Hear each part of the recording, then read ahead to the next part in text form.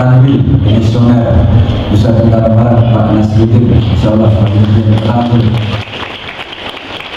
ada juga ada di sini Bapak DPR Provinsi Nusa Tenggara Barat Bapak Tuan Guru Haji Najamuddin Mustafa. Di sini juga ada hadir Bapak Zaini mana ya di sini ada juga Pak Dewan kita Bapak Haji Tanwir. Insyaallah juga hadir. Dan kita. Ada juga Bapak DPR kita Bapak Khairul Rasid. Semua. Ini adalah putra-putra terbaik Kabupaten Timur. Mudah-mudahan beliau sehat walafiat, bahagia dunia bahagia. akhirat. Dan tak terlupakan ibunda tercinta, ibunda Chandra Sibawai Mutawali dan ibunda beliau adalah adalah istri Almarhum Tuan Guru Haji Muhammad Sibawai. Alhamdulillah bahagia bahagia akhirat. Alhamdulillah. Di sini juga ada Kiai Haji Muhammad Bur pimpinan komisioner Al-Kota Alhamdulillah juga hadir. Ada juga Al-Mukarram Bapak Tuan Guru Haji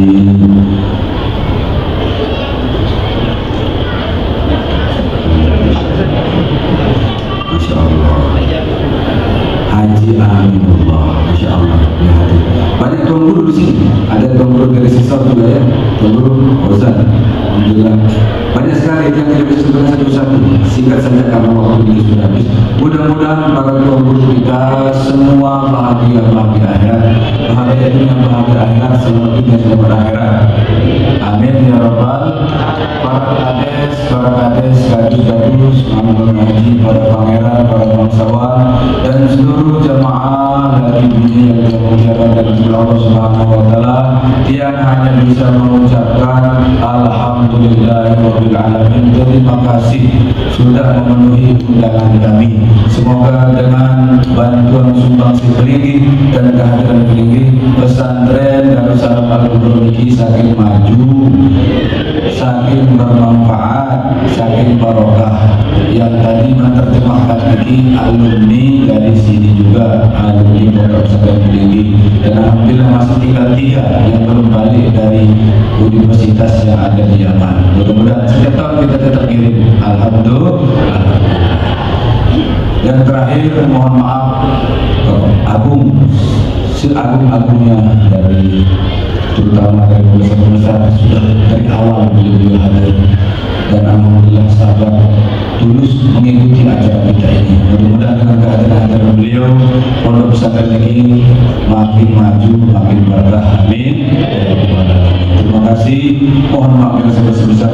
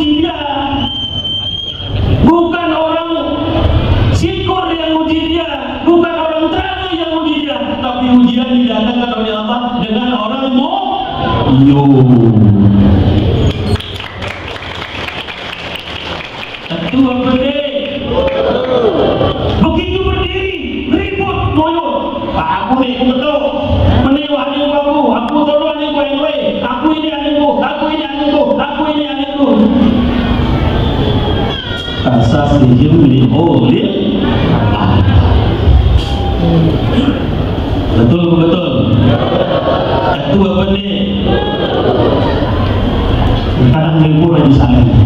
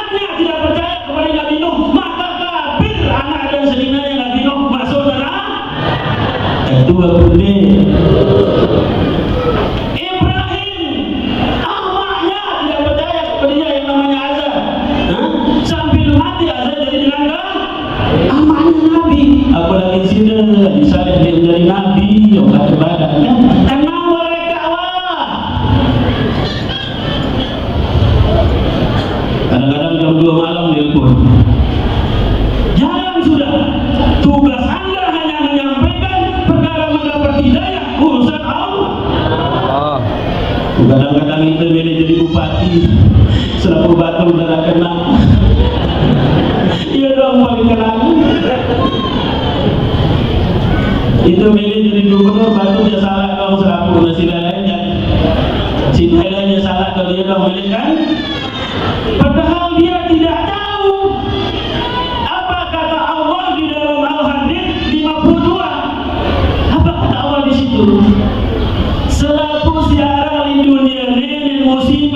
pemimah maupun apa penuh sudah ditentukan oleh aku kata Allah. Kamu tidak lampau wah leka wah.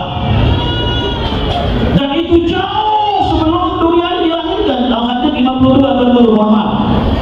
Masya Allah musibah terjadi walaupun musibah ini.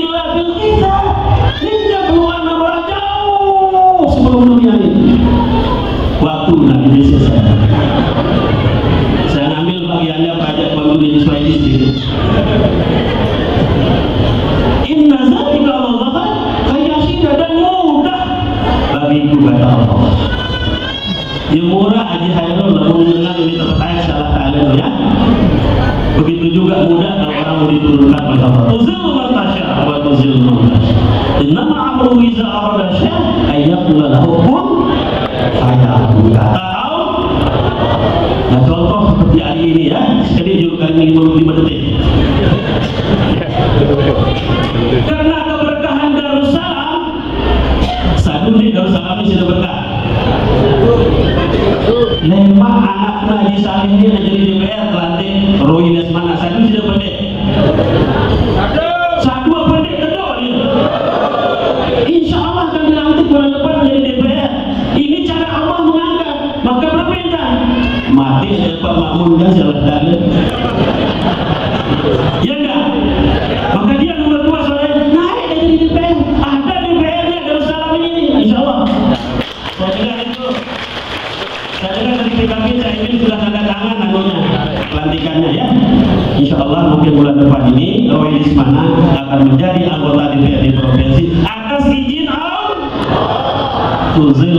mantasya ya.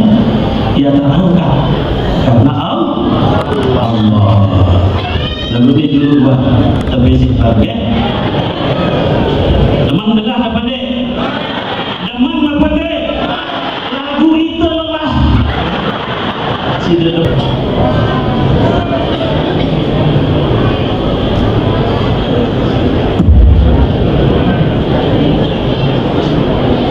Bismillahirrahmanirrahim.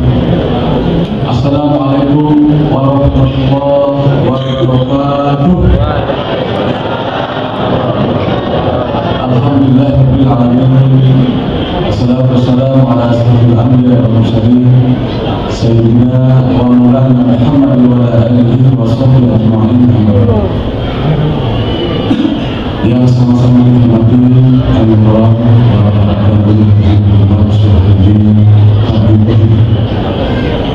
beliau sahabat yang karena pada saat beliau menjadi anggota Ketua sendiri beliau adalah salah seorang yang banyak membantu dia pada saat itu dia juga yang dihormati segenap para ahli para syafis, kemudian segenap kaum masyarakat. Mungkin banyak hadir juga dari uh, musbidah yang saya dari sudah utara ini. Kemudian yang hormati berada dari anggota di Provinsi Sumatera Barat, ada Pak Haji Abdul ya. kemudian tadi ada guru Puan jadi kalau yang pribadi beliau berpesan di mana-mana ada ngomong jangan pernah panggil saya dengan kalimat panggilan Tuan Guru Haji Gajah tak boleh. Saya panggil apa? Harus panggil guru tuan. Kenapa guru tuan? Tony jadi dia juga tidak itu gitu, guru tuan singkatnya hadirin sebuah yang dengan Allah Alhamdulillah kita bersyukur kepada Allah bahwa pada siang hari ini kita masih diberikan nasihat lima kesempatan lima iman Islam sehingga acara pada hari ini dapat kita sama-sama tadi Pak Haji Nabi sudah banyak kepada Allah yang hanya menyampaikan dua pesan saja pesan Rasulullah SAW kepada salah seorang sahabatnya yang bernama Ibnu Mas'ud apa pesan beliau maka duduklah anda sejenak mendengar ceramah agama tadi ceramahnya luar biasa ceramah agama karena mendengar ceramah agama itu lebih baik dari kita melaksanakan sholat seribu rakaat. Ada di antara jamaah yang sudah melaksanakan sholat sunat seribu rakaat dalam satu hari makanya nanti apa yang disampaikan oleh seluruh Al-Quranillah itu harus didengar baik. Karena apa? karena mendengar ceramah agama itu lebih besar pahalanya dibanding kita melaksanakan sholat sunat rakaat pesan yang kedua adalah kita harus kembali mengingat bahwa kehidupan ini akan berakhir pada saatnya kelak kita akan meninggal setelah kita meninggal besok di akhirat kita tidak akan bergeser dua langkah kaki kita itu terkecuali kita akan ditanya empat perkara pada Allah Subhanahu wa. Mana yang paling yang pertama adalah umur. Umur yang sudah diberikan kita manfaatkan untuk apa? Apakah untuk berbuat baik? Apakah untuk membantu orang lain? Ataukah untuk berbuat yang di luar kehendak Allah? Maka umur ini akan kita. Ini doa baca-baca dia lain kembali bagus kasih kulit. Kena berat kita mempertahankan nama itu. Yang kedua adalah badan sehat. Badan sehat yang kita diberikan ini juga kita manfaatkan Allah. Guru Bang Haji mungkin tadi cerita Bang sakit jagung lemah saya sudah Bang Haji sudah ini harus jaga makan Kenapa? Karena memang kita dipesan juga bahwa kita harus juga menjaga makan, yang memberikan kita se sehat. Kenapa? Kalau kita sudah sehat, pasti ibadah kita lah. Yang ketiga, harta. Harta yang aku berikan ke mana aku gunakan? Sudahkah kita bersedekah? Sudahkah kita memberikan orang yang tidak mampu? Sudahkah kita menciptakan dagangan kita yang sengsara? Maka harta ini harus kita berikan. Kenapa? Karena sesungguhnya itu hanya tiga. Mana yang tiga itu? Makanan yang kita makan. Yang kedua, pakaian yang kita pakai sampai rumah.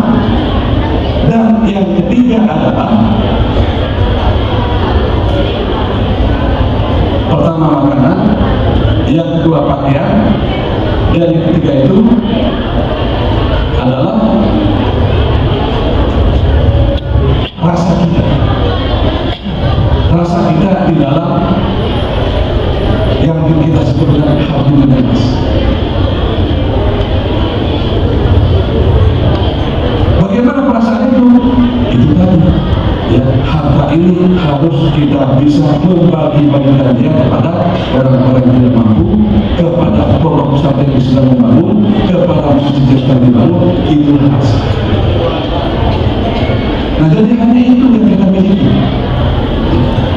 miliki harta itu tidak kita akan bawa mati oleh karena itu janganlah perlu saya tetapi kita harus menjadi mereka untuk kita bagi-bagikan kepada orang yang yang materi bila akan membahagikan yang akhirnya dan yang keempat adalah ilmu tadi disebutkan semua semua guru Tuhan yang sebut bahwa ilmu adalah uh, merupakan hal yang akhir ilmu yang mana? ilmu yang bermanfaat barangkali saja yang dapat sampaikan barangkali kita bersemangat bila kita Assalamualaikum warahmatullahi wabarakatuh akan disampaikan oleh Bapak Haji Kamilul Ahad SD kepada beliau waktu dan tempat kami persilakan. Bismillahirrahmanirrahim. Assalamualaikum warahmatullahi wabarakatuh. Puji syukur kehadirat Allah subhanahu wa ta'ala. Dengan ucapan Alhamdulillahirabbil alamin Selawat dan salam kejunjungan Nabi besar Muhammad sallallahu alaihi wasallam. Dengan ucapan Allahumma shalli ala sayyidina Muhammad wa ala sayyidina Muhammad yang dia hormati, yang banggakan dan yang muliakan ayah-ayah anda Tuan Guru Haji Muhammad Saleh Yahya yang dia hormati, yang muliakan dan yang banggakan Tuan Guru karena beliau masih muda boleh kita bilang Tuan Guru Baja nggih. Haji Yahya Ibrahim Al-Madani. Alhamdulillah kesuksesan beliau sudah tergambar di depan kita. Nyangka tadi baru 12 tahun sudah semaju ini. Dan ini bukan kali pertama yang hadir di tempat majelis. Sudah banyak bahkan ada majelis yang umurnya sudah di atas 30 tahun, bangunannya tidak selesai-selesai. Tidak punya tempat seluas ini. Kalau ada acara pasang teror, tapi alhamdulillah di tempat beliau ini sudah nampak kesuksesannya yang saya hormati, yang banggakan dan yang muliakan ayah anda Tuan Guru Haji Muhammad Suhaili Fadil Rohim SA nanti yang perkenalkan beliau lebih jauh ya. yang hormati para Tuan Guru, para alim ulama rekan-rekan DPR Provinsi yang insya Allah tadi sudah semua diperkenalkan oleh MC, oleh teman-teman yang lain. Mudah-mudahan nama-nama beliau rekat dan tetap teringat di pikiran dan kepala jemaah semua yang hadir di tempat ini tadi sudah diperkenalkan tapi belum lengkap. Nanti jangan lengkapi. Yang saya hormati semua yang hadir jemaah lagi ini mudah-mudahan semua kita diberikan iman sehat. Tetap diberikan kesempatan untuk menghadiri majelis-majelis seperti ini. Mudah-mudahan semua panjang umur dan murah rezeki lalu bapak bapak bapak ibu dan mohon maaf dia tahu ngaji mana batul-batul syariah ini lamun selanjutnya jadi DPR tahu ngaji cuma dia ada jadi jemaah. Guru kasihan guru tidak ada jemaahnya. Jadi biar yang kayak teman-teman yang lain bisa jadi tuan guru dia cukup jadi jemaah. Jadi nanti loh Pak Tanwir tidak bisa ngaji. Tugas dan fungsinya di DPR bisa belum memanfaatkan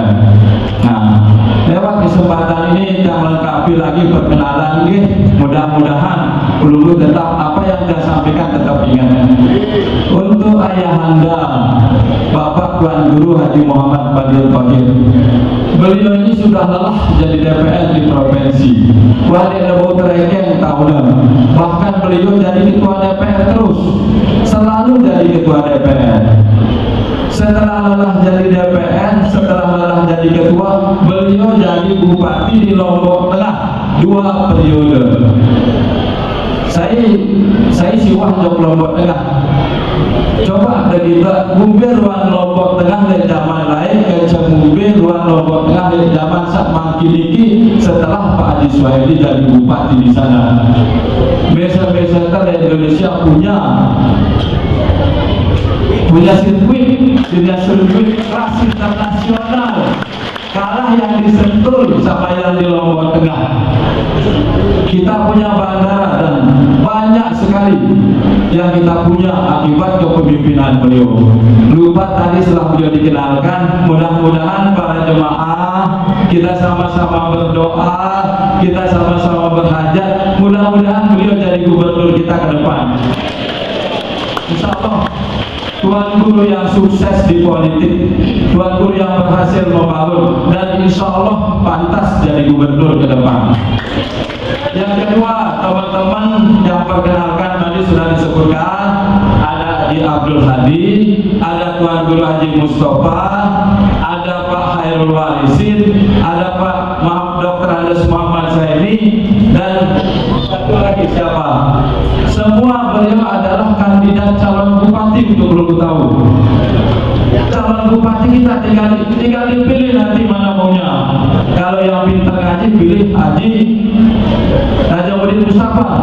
Kalau yang sukses bisnisnya pilih Haji Ron kalau yang bisa ngaji tapi orangnya kalau ada Jambul Hadi. Semuanya pantas. Tidak ada yang baik di antara kandidat-kandidat yang tadi sudah diperkenalkan namanya. Semua baik, semua punya kelebihan insya Allah. Berikutnya ada kakak saya Haji Nasruddin mantan kemenang bahkan kanwil Kementerian Agama Provinsi beliau juga jabatannya sudah sudah kenyang dengan jabatan-jabatan strategis. Insya Allah baru saya dengar kabar angin beliau nyalon DPR RI mudah-mudahan semua kita juga bisa mendukung beliau ya nah lewat kesempatan haul yang ke-12 Yayasan Pondok Pesantren uh, apa namanya lupa Ya Darul, mari sama-sama kita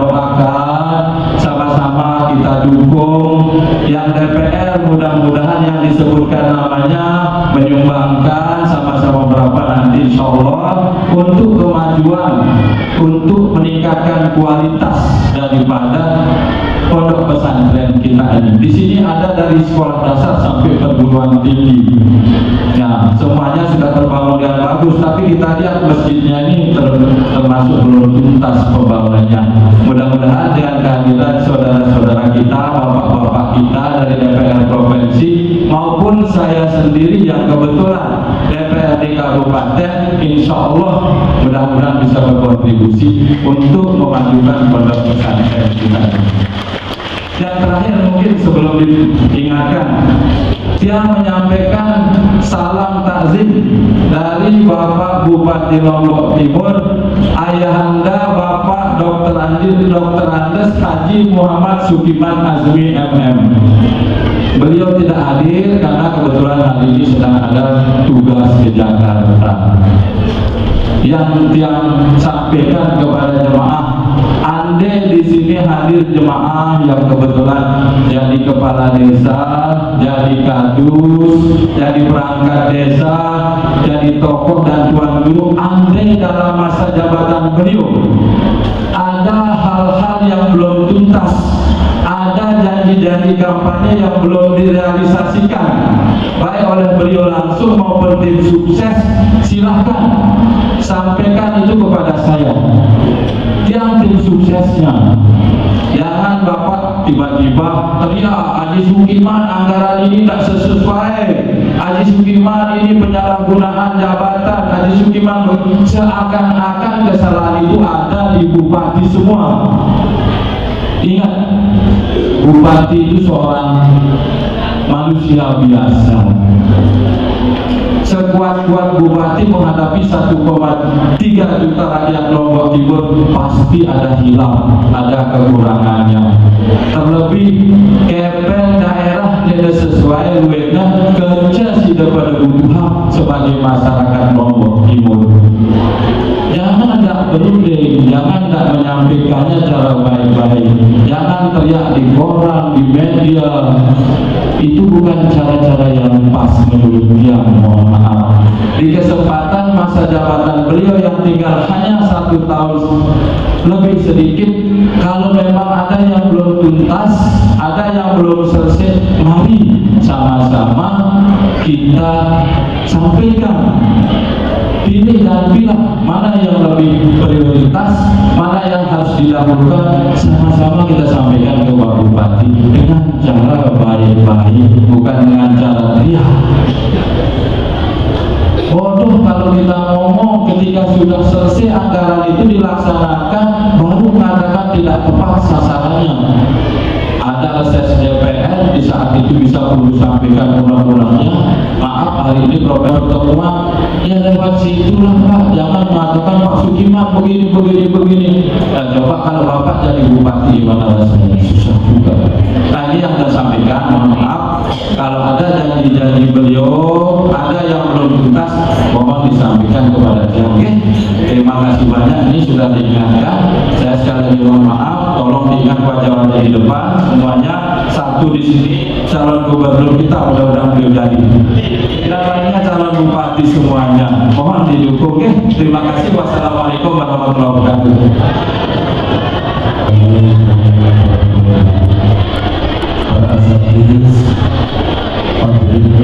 hadirat si ibu yang memohon dan kepada Allah Subhanahu. Moga-moga apa yang kita bersama doa kita